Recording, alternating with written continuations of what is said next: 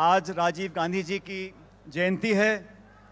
उनको हम श्रद्धांजलि देते हैं और हम सब आज एकत्रित हुए हैं उनको याद करने के लिए, उनकी यादों को ताज़ा करने के लिए।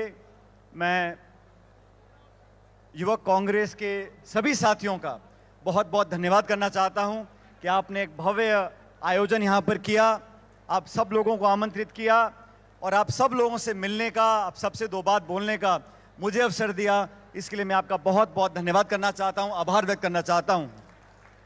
दोस्तों, राजीव जी के स्वर्गवास को लगभग तैंतीस साल हो गए। आज उनकी जयंती है और मैं बैठा बैठा सोच रहा था कि आज वो होते तो लगभग 80 साल के होते, लेकिन 80 साल के वो कैसे दिखते, इसकी मैं कल्पना नहीं कर पा रहा था। क्योंकि जो चेहरा मुझे राजीव जी का याद है, हम सबको याद है, वो एक नौजवान चेहरा, एक मुस्कुराता हुआ चेहरा, हसमुख चेहरा, आशा और उम्मीद पैदा करने वाला चेहरा है। और इस मन से बहुत लोगों ने बातें करी हैं, हम सब उनके बारे में बातें करते रहते हैं। वो एक युवा प्रधानमंत्री बने, देश का नेतृत्व किया, कांग्रेस पार्टी का नेतृत्व किया प्रशासन में, सरकार में, संगठन में बहुत से काम किए, करवाए। लेकिन मैं चाहता हूँ कि हम सब लोग आज, कम से कम आप लोग, राजीव गांधी जी को सिर्फ़ एक नेता, एक प्रधानमंत्री, एक कांग्रेस पार्टी का नेता वहाँ तक सीमित ना रखें।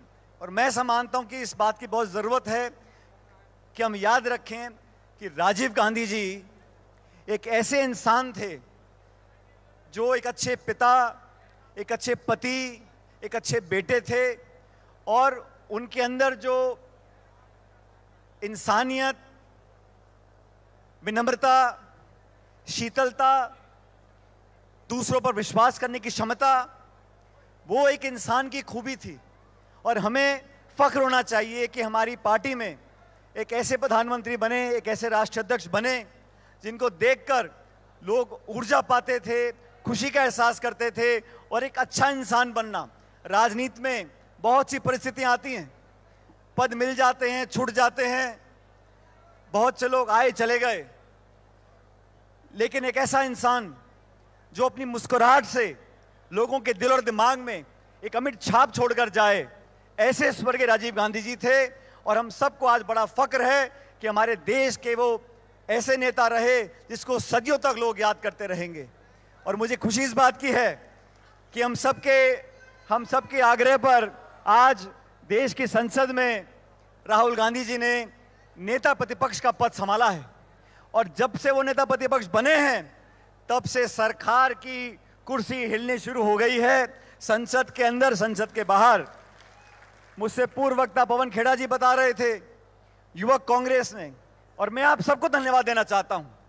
कांग्रेस पार्टी 10 साल विपक्ष में रही हम में से कई लोगों ने मेहनत करी होगी, कोशिश करी होगी, लेकिन युवक कांग्रेस ने देश के हर कोने में, विपरीत परिस्थितियों में लाठी गोलियाँ खाकर भी कांग्रेस पार्टी का निशान और नाम बढ़ाया है। मैं आप सब लोगों का धन्यवाद देना चाहता हूँ।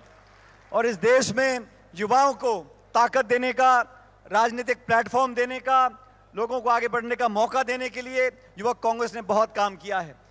हर व्यक्ति जो आज यहाँ मौजूद है, किसी पद पर हो या ना हो, लेकिन मैं आपको विश्वास दिलाता हूँ, कांग्रेस पार्टी आपका पूरा साथ देगी, आप और हम मिलकर इस देश में नई इबादत लिखने जाएँगे, देश का भविष्य बनाएँगे, और आज जो लोग सत्ता में बैठे हैं, उनको एहसास हो रहा है कि देश का नौजवान और देश का किसान अब करवट ले चुका है।